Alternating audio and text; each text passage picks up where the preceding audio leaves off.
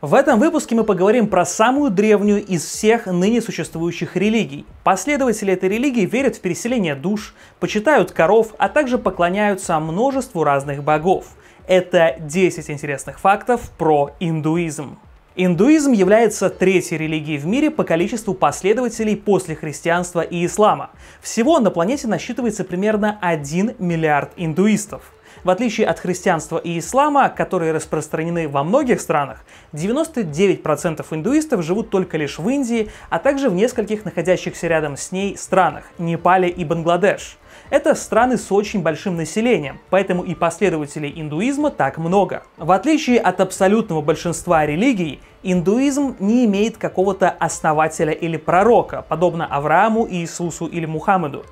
При этом индуизм — это самая древняя из всех ныне существующих религий. Он начал формироваться примерно 4000 лет назад и является смесью различных практик и верований народов, которые жили в Древней Индии. В христианстве и исламе, например, много разных конфессий — католики, православные, сунниты и шииты. Так вот, в индуизме этих конфессий еще больше, причем различия между ними могут быть гораздо более значительными, чем между конфессиями христианства и ислама. В индуизме нет единой доктрины, но у практически всех ответвлений есть общие принципы и верования. Сейчас я вам о них расскажу.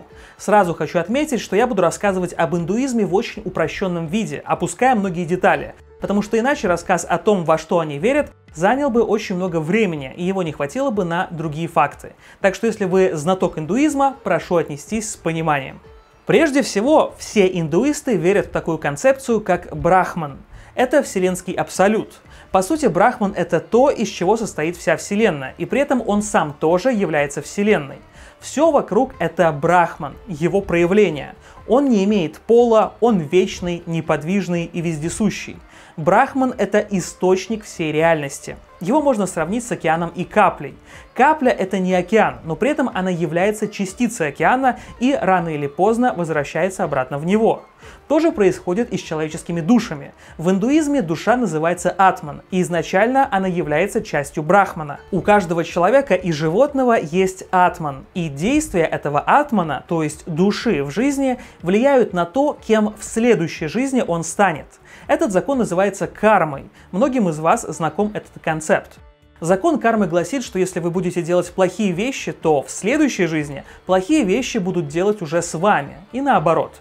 Чтобы заработать себе хорошую карму, нужно следовать понятию, которое называется дхарма. Это можно объяснить как некое предписание того, как надо жить, некий нравственный долг, правильное поведение. У каждого существа, у каждого человека своя дхарма, которая описана в священных книгах. Например, дхарма тигра – это охотиться и убивать добычу. Дхарма коровы – давать молоко и кормить людей. Дхарма короля – справедливо править своим государством. А дхарма зрителя Демиоза – это подписаться на канал, нажать на колокольчик и оставить коммент под его видео. Если все существа в мире будут следовать своей дхарме, то в мире не будет войн и страданий. А если отдельный человек следует своей дхарме всегда, то он достигнет мокши, то есть освобождения из круговорота перерождений он перестанет наконец перерождаться на земле и возвращается к Брахману, слившись с ним воедино в вечном блаженстве и покое. Мокша является главной целью любого индуиста. Отдельная капля снова возвращается в океан и становится единым целым с ним. Индуисты также верят в то, что Вселенная бесконечна во времени, но при этом она разделена на циклы. Каждый цикл разделен на четыре эпохи. В индуизме они называются югами. Длина каждой эпохи разная, но полный цикл из четырех эпох длится 4 миллиона и 320 тысяч лет конце каждого цикла в мире становится все больше и больше зла. Нравственность падает, люди становятся злыми и жестокими. И в конце концов это ведет к уничтожению мира, а затем к его перерождению. Последняя эпоха в цикле называется Кали-Юга. И, конечно же, как и в большинстве других религий, сейчас мы живем именно в ней, в конце времен, когда все в мире плохо и ужасно, и скоро наступит конец света. В индуизме есть просто огромное количество священных писаний. Их можно условно разделить на два типа. Первый тип — это веды, писания, которые якобы не были созданы людьми, а существовали сами по себе всегда. Люди их просто записали. В них содержатся законы о том, как надо жить. При этом веды многие века передавались из поколения в поколение в устном виде, в стихотворной форме, а записаны они были значительно позже, чем возникли. Второй тип писаний — это эпосы и поэмы, в которых излагается философия индуизма в виде различных историй — Среди писаний такого типа Махабхарата, самая длинная в мире поэма, которая в 8 раз больше Библии. В ней есть текст, который называется Бхагавад-гита. Она является, пожалуй, самой важной ее частью.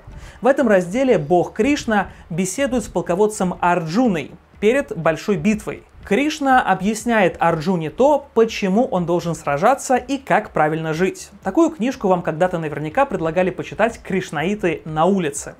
В иудаизме существует еще множество других писаний, но в подробности вдаваться мы не будем.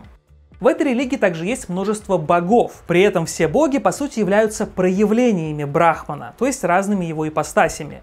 Из-за большого количества богов многие считают индуизм язычеством, но на самом деле он вряд ли таковым является. Индуизм все-таки ближе к монотеизму, так как хоть богов в нем и много, все они, по сути, являются одним главным богом, просто в разных его проявлениях. В индуизме тоже есть троица, три главных формы бога. Это Вишну, Шива и Брахма. Начнем с последнего. Брахма, не путать с Брахманом, это бог творения, создавший нашу материальную вселенную. Интересно то, что из всех трех божеств у Брахмы самое маленькое количество почитателей и построенных в его честь храмов. Их всего единицы по всей Индии против десятков тысяч у Шивы и Вишну. В индуизме это объясняется по-разному. Согласно первому объяснению, Брахма создал всю нашу материальную вселенную, и из-за него теперь мы тут все страдаем. Естественно, что подобное деяние не может вызывать никакого уважения. Есть еще легенда о том, что Шива, один из трех главных богов, проклял Брахму. И вот за что. Как-то раз Брахма и Вишну решили узнать то, где начинается и где заканчивается огромный вкопанный в землю каменный фалос, уходящий далеко в небо. Если кто не знает, фалос — это символическое изображение мужского полового члена. Этот фалос символизировал Шиву. Так вот, Брахма превратился в лебедя и полетел вверх, а Вишну превратился в кабана и начал копать землю вниз. В итоге Вишну не смог найти начало фалоса в земле и признал, что тот не имеет начала. Однако Брахма, поднимаясь все выше и выше в форме лебедя, тоже не смог найти конец, но при этом он наткнулся там на цветок и он попросил этот цветок засвидетельствовать факт того, что Брахма нашел конец огромного бесконечного члена. В итоге, когда слухи об этом дошли до Шивы, тот очень разозлился, что кто-то ставит под сомнение бесконечность посвященного ему члена, и поэтому проклял Брахму на то, что никто не будет ему поклоняться. Вот такая история. Второй бог в этой троице — это Вишну. Он хранитель нашей вселенной и делает все, чтобы поддерживать ее в порядке. Периодически Вишну приходит на Землю в виде аватаров. Аватар — это его воплощение на Земле в человеческой форме. Самые главные его воплощения — это Рама и Кришна. У каждого из этих аватаров есть свои почитатели, например, кришнаиты, которые поклоняются Кришне. В целом, Вишну со своими аватарами является самым популярным богом. Третий в списке это Шива. Он бог разрушения. Его задачей является уничтожение нашей вселенной в самом конце цикла для того, чтобы она переродилась вновь и начала новый цикл. У Шивы тоже много почитателей. В индуизме вообще существует еще огромное количество богов, каждый из которых за что-то отвечает. У богов есть дети и жены, между ними происходили какие-то конфликты и так далее. Но в это углубляться мы не будем. Основной смысл индуистского пантеона, надеюсь, я до вас донес. Центральное место в индуизме занимает река Ганг. Эта река очень длинная, ее длина 2700 километров, и она течет с самого севера Индии из Гималаев на юго-восток этой страны. Вода этой реки считается священной. Индуисты верят, что она способна очищать человека. Каждый индуист хотя бы раз в своей жизни должен совершить паломничество к Гангу, ну а те, кто живут рядом с ним, приходят омываться и пить его воды постоянно. Стоит сказать, что физически эта река очень грязная. Находящиеся на ее берегах берегах индийские города с гигантским населением засоряют эту реку всем, чем только можно, но верующих это не отпугивает. Помимо места освящения, Ганг также является местом захоронения. Индуисты верят, что Ганг — это мост между небом и землей, поэтому тела умерших так или иначе должны оказаться в этой реке.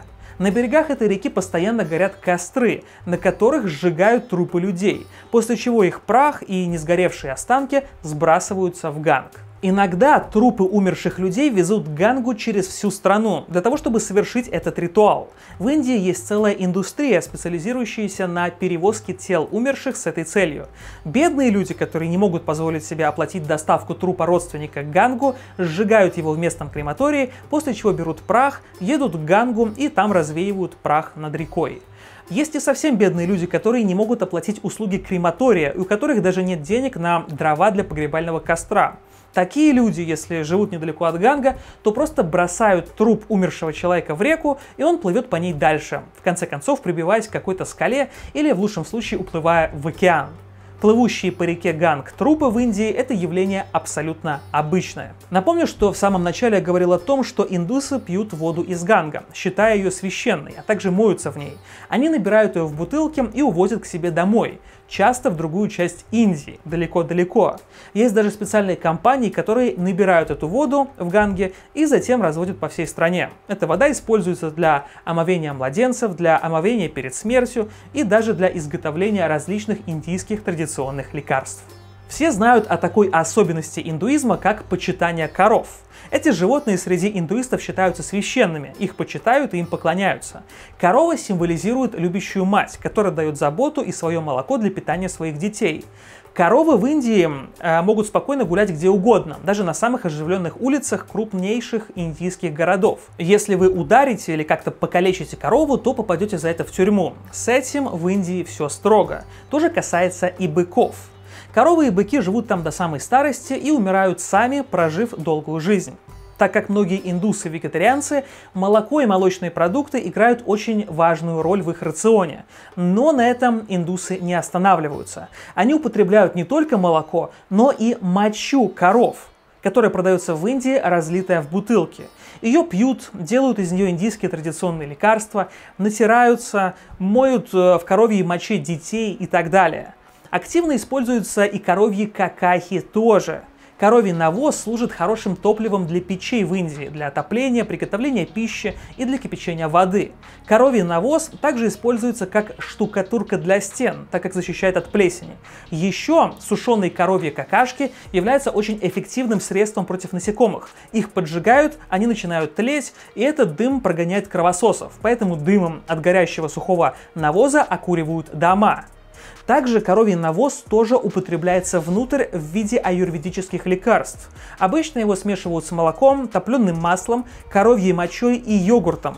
Это снадобье, как считается, способно вылечить многие болезни и дать силы тому, кто его принимает. Забой коров в Индии запрещен почти во всех штатах, однако есть несколько штатов, где это разрешено. Предприимчивые индусы везут своих коров туда и продают на скотобойне. Затем это мясо продается местному мусульманскому и христианскому населению. Экспорт говядины за границу в Индии строго запрещен. Все знают о такой книге, как Камасутра. Большинство людей сразу представляет себе книгу с картинками, на которых изображены позы для соития. Однако далеко не все знают, что настоящая оригинальная Камасутра состоит далеко не только из этого. Вообще Камасутра это древний индийский трактат. Слово «кама» на санскрите означает чувственные наслаждения. К таким наслаждениям должен стремиться каждый человек. Так вот, Камасутра — это трактат о каме, то есть о таких наслаждениях. Описание пост для Саития — это только одна пятая часть этой книги. Все остальное — это наставление о том, как быть хорошим гражданином, как ухаживать за женщиной, как организовывать и проводить свадьбу, а также о том, как обольщать людей и располагать их к себе. Причем в оригинальной Камасутре никаких картинок с позами не было, были только их описания. Интересно то, что многие позы названы в честь животных, так как имитируют их половой акт. Так вот, согласно Камасутре, в таких позах надо издавать те же звуки, которые издают животные, в честь кого названы эти позы. Трактат был переведен на английский в конце 19 века англичанином и издан очень маленьким тиражом. Цена на эту книгу была тогда искусственно завышена, чтобы ее не мог купить обычный британец. Книга из-за своего очень непристойного содержания предназначалась только для изучения специалистами. Такой статус был у нее в Британии вплоть до 1960-х годов. Тогда там случилась э, сексуальная революция, и Камасутру начали издавать для широкой публики. Однако большинство современных книг, называющихся Камасутра, это не вся книга, а только та лишь ее часть, посвященная позам. В индуизме есть одна ужасная и жестокая традиция, которая, к счастью, в современном мире почти не практикуется, так как повсеместно запрещена в Индии. Этот ритуал называется сати. Он заключается в том, что когда умирает женатый мужчина, его вдова сжигается живьем вместе с ним на погребальном костре, а вокруг стоят члены семьи, их дети, друзья и родственники, которые наблюдают за этим процессом. Формально в индуизме подобное самосожжение вдовы является делом добровольным, то есть если она не хочет этого делать, то и не надо. Но при этом нужно понимать, что существует общественное давление на такую вдову. От нее ожидают, что она сама захочет последовать за своим мужем на погребальный костер. А если она сомневается, то община быстро ей напомнит о том, что значит быть верной женой и, по сути, заставит ее совершить такой ритуал. Во время ритуала женщины сидели или лежали на погребальном костре рядом с телом мужа. Также были случаи, когда они прыгали в уже горящий костер. Часто их также связывали и обездвиживали для того, чтобы из этого костра они не выпрыгнули, когда он начнет гореть. Смысл этого ритуала объясняется несколькими положениями. Во-первых, жена, если знает, что ее ждет в случае смерти мужа, не станет его травить ядом. Также в Древней Индии за вдову, особенно если она была бездетна, некому было заступиться. Деньги зарабатывать она не могла, также она не могла получить наследство умершего мужа. Поэтому после его смерти вдову ждала унизительная и бедная жизнь. До нее домогались бы разные чужие мужчины, насиловали бы ее и обижали. Также в старину индуисты верили, да и сейчас, собственно, верят, что вдова приносит несчастье. С ней нельзя общаться и даже просто находиться рядом. Так вот, чтобы избежать всего этого, вдовам предписывалась смерть на костре вместе с телом их мужа. Наибольшее распространение этот ритуал имел в Индии в 15 веке. В те времена это происходило очень часто. Многие европейские путешественники описывали этот ритуал в своих путевых заметках. После 15 века с приходом сначала мусульман в Индию, а потом и европейцев, началась борьба с этой традицией. Ее всячески запрещали. Однако контролировать соблюдение такого запрета по всей огромной стране было невозможно. Ритуал сати иногда происходит и в наше время, хотя это случается крайне редко. За последние 70 лет зарегистрировано всего около 40 таких случаев. И чаще всего вдовы просто прыгали в горящий костер сами без какого-либо принуждения. В индийских традициях женщины, совершившие сати, считаются героями. Сати считается высшей формой а, проявления любви и преданности, поэтому некоторые женщины сами на это идут. Для борьбы с сати в Индии был принят закон, согласно которому все люди, которые являются свидетелями принудительного сати, считаются сообщниками в убийстве и поэтому должны предстать перед судом. Еще в древности был другой обычай. Он называется джаухар. Заключается он вот в чем. Если на город идет вражеская армия, то женщины солдатов, которые будут защищать этот город, совершают массовое самосожжение до битвы с врагом. Делается это для того, э, чтобы солдатам, потерявшим своих жен, уже было нечего терять и некуда возвращаться, и чтобы они таким образом не боялись отдать свои жизни в бою. Вот такие вот замечательные традиции были когда-то у верующих индуистов. С древних времен в индийском обществе существует особая социальная система. Их общество разделено на касты, то есть на некие слои. Каждый слой занимает свое социальное положение в обществе. Вот схема индийских каст в виде пирамиды. На самом верху находится каста брахманов. Туда входят священнослужители и гуру. Сразу над ними кшатрии. Это каста воинов и правителей. Под ними находятся вайшьи. Это торговцы, земледельцы и скотоводы а под ними шудра. Это простые рабочие, уборщики и слуги. В самом же низу пирамиды находятся неприкасаемые, которые вообще не являются кастой. Они как бы вне этой кастовой системы, но при этом отношение со стороны всех других каст к неприкасаемым как к самым низшим из людей. Считается, что неприкасаемые способны осквернить собой членов других более высоких каст. Неприкасаемые традиционно занимались в Индии самой грязной, тяжелой и унизительной работой. Они ловили крыс, чистили выгребные ямы, занимались сожжением трупов, забивали скот и так далее. В индуизме есть большое отличие между чем-то грязным и духовно нечистым. Грязным может быть, например, улица или ботинки, но есть такое понятие, как нечистый, то есть нечто, что является как бы энергетически или духовно нечистым. К таким вещам относятся, например, человеческие фекалии и моча, а также трупы животных. Обычный индуист не должен прикасаться к таким вещам. А вот люди из касты неприкасаемых могут к ним прикасаться и поэтому сами становятся неприкасаемыми.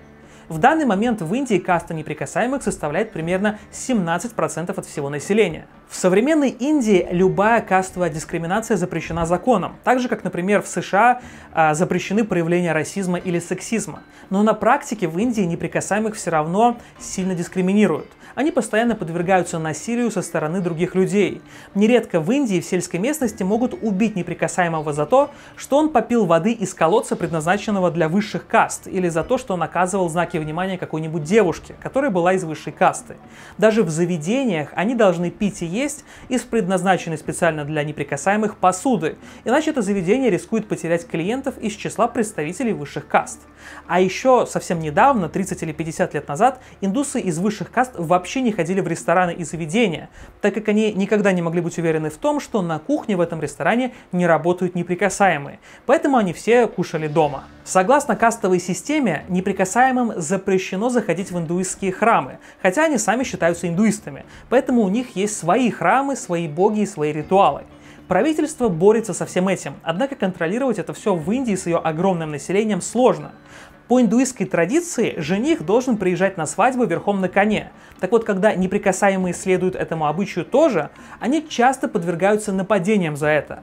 В 2008 году в индийском штате Раджастан жених неприкасаемый впервые проехал на коне на свою свадьбу. Так вот, его охраняли более 400 полицейских и несколько машин скорой помощи. Правительство организовало это для борьбы с кастовой дискриминацией. Согласно индуизму, член каждой касты должен принять свое положение и следовать своей дхарме, то есть своему предписанию о том, как надо жить. И если ты следуешь своей дхарме и соблюдаешь все религиозные законы, то в следующей жизни ты уже перевоплотишься представителем более высокой касты. Поэтому многих жителей Индии такая система устраивает. Вообще, эта система действительно очень удобна для правящих элит прошлого. Это позволяло держать под контролем массы недумающих людей, которые просто принимают на веру созданные для них искусственные ограничения. Традиционно браки между разными кастами были почти невозможны, просто потому что человек из высшей касты не станет связывать себя узами брака с человеком из более низкой касты. В современной Индии отношение к кастовой системе уже не такое строгое, особенно в больших городах. Молодежь в городах часто не обращает внимания на кастовую принадлежность других людей, готовы дружить с представителями других каст и даже вступать с ними в отношения. На индийских сайтах знакомств многие индусы даже специально ставят пометку о том, что их не волнует каста потенциального парня или девушки. Но в сельской же местности, однако, нравы намного более традиционные, и там гораздо больше людей, которые не будут связываться с низшими кастами. В деревнях и селах врачи, то есть люди с высшим образованием, часто отказываются лечить неприкасаемых и входить в их дома. Им нельзя заходить в полицейские участки, а дети неприкасаемых не могут посещать школы. Если неприкасаемые отказываются соблюдать эти нормы, последствия для них могут быть печальными. Над ними просто совершат самосуд – Каждую неделю в Индии, согласно статистике, убивают примерно 15 неприкасаемых на почве классовой ненависти к ним. Каждую неделю примерно 5 домов неприкасаемых сгорает в пожаре, специально устроенном их соседями.